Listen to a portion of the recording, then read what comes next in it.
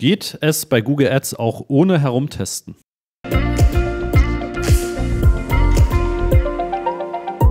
Ja, auch das ist eine Antwort auf eine Umfrage, die ich gemacht habe unter all unseren Newsletter-Abonnenten.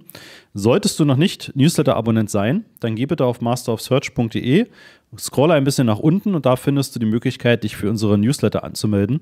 Und dann verpasst du zukünftig auch kein Update mehr rund um YouTube, rund um den Podcast, rund um unsere Blogbeiträge. Ja, also trag dich einfach dort einmal gratis und unverbindlich ein. Natürlich kannst du dich jederzeit wieder austragen, wenn es dir nicht gefällt. Geht Google Ads ohne herumtesten? Und da impliziert die Frage so ein bisschen, dass die Person, die das geantwortet hat, vielleicht schon seit Monaten oder sogar schon seit Jahren immer dabei ist, einfach herumzuprobieren und zu testen. Also mal die eine Kampagne, mal eine Suchkampagne, mal eine Display-Kampagne, mal eine maximale Performance-Kampagne.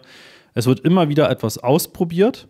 Ja, vielleicht oftmals gar nicht auch wirklich zu 100 Prozent da Zeit rein investiert, dass die auch richtig gut ist, dass die richtig durchdacht ist, dass die richtigen Ziele gemessen werden.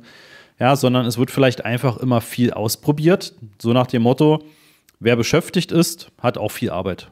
Ja, also das ist nicht immer unbedingt das, was ja zielführend ist. Also gerade auch bei Google Ads kann es durchaus sein, dass man mit einer einzigen Kampagne den Hauptumsatzanteil überhaupt einfährt. Ja, und da muss man nicht noch viel mehr Kampagnen fahren. Bei Online-Shops ist das meistens eine Google Shopping-Kampagne. Ja, wenn die richtig gut aufgesetzt ist, wenn die richtig funktioniert, wenn die die richtigen Ziele hat, dann kann das die Kampagne sein, die dir 80 Prozent des gesamten Umsatzes bringt. Ja, und bei Herumtesten ist ja auch generell die Frage, was genau testest du denn und auf welche Ziele? Was sind denn sozusagen eigentlich deine Bewertungskriterien? Wo sagst du, der Test war erfolgreich?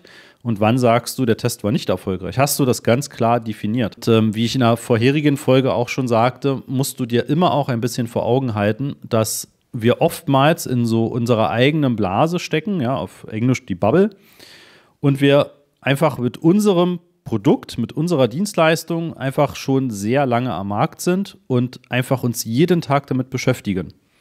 Und dann ist für uns die Frage nach, was ist denn für unsere Kunden wichtig? Wonach suchen die eigentlich? Wie finden wir die? Wo sind die unterwegs? Ist für uns in unserem Kopf eigentlich schon fest ja, und eine gemachte Sache.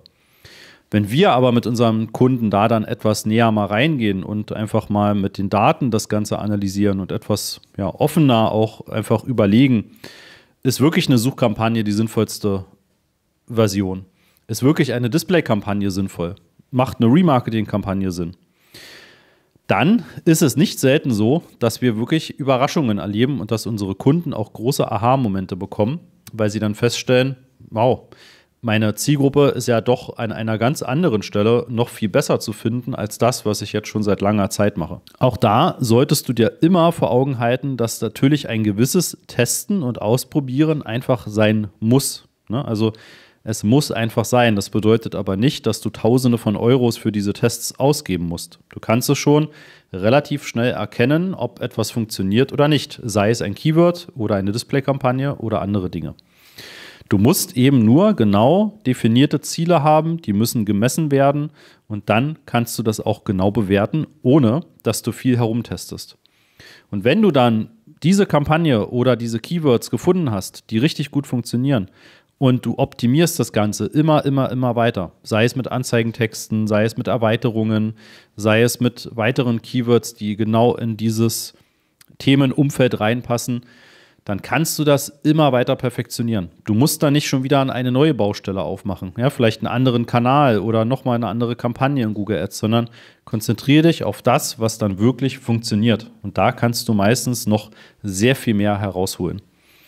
Also, Fazit dieser Folge: Es geht auch ohne herumtesten, aber du vergibst dir eine Menge Potenzial, wenn du überhaupt nicht bereit bist, mal etwas anzutesten.